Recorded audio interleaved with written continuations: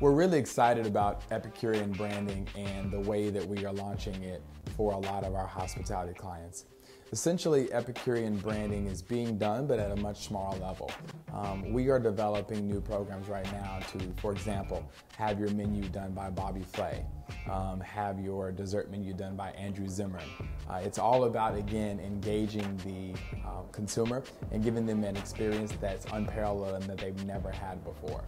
Um, so, specifically, it's about taking a normal menu um, or a normal restaurant or a normal facility within the hospitality world and turning it on its side and giving a new brand perception to that.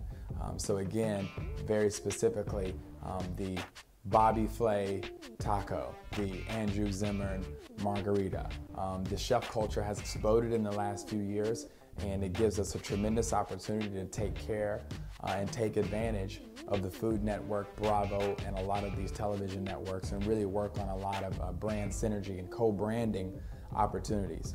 A lot of the value that we add as a firm is being able to team up with people like Bravo, the Food Network, as I mentioned, um, or the Cooking Channel, and team them up with hospitality companies, Epicurean branding.